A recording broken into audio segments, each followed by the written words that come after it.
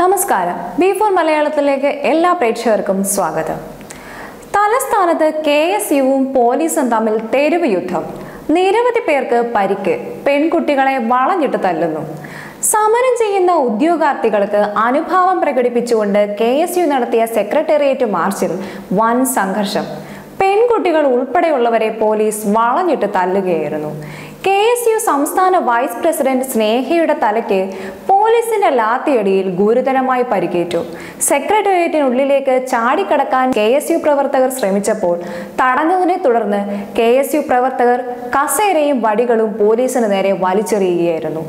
ഏതാണ്ട് മൂന്നാഴ്ച മുൻപ് സംസ്ഥാന ഭരണകൂട ആസ്ഥാനത്തിന് പുറത്ത് ഒരു ചെറിയ കുത്തിരിപ്പ് സമരത്തിൽ നിന്നും ആരംഭിച്ച പ്രതിഷേധം ഇപ്പോൾ ആനുപാതികമായി വളരുകയാണ്. ഞങ്ങളുടെ ആവശ്യങ്ങളോട് സർക്കാർ പരിഗണന കാണിക്കുമെന്ന് ഞങ്ങൾ കരുതി. പക്ഷേ അവർ ഞങ്ങളെ അവഗണിക്കുകയും രാഷ്ട്രീയ പ്രേരിതമെന്ന് മുദ്രകുത്തുകയുമാണ് ചെയ്തത്.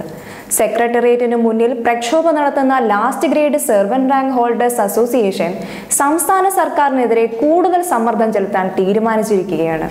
കാരണം അംഗങ്ങൾ അവരുടെ ആവശ്യങ്ങൾ അംഗീകരിച്ചില്ലെങ്കിൽ ഫെബ്രുവരി ഇരുപത്തിരണ്ട് മുതൽ അനിശ്ചിതകാല നിരാഹാരം ആരംഭിക്കാൻ തീരുമാനിച്ചിരിക്കുകയാണ്. കൂടുതൽ വിവരങ്ങളുമായി ഞങ്ങൾ വീണ്ടും എത്തും. നന്ദി നമസ്കാരം.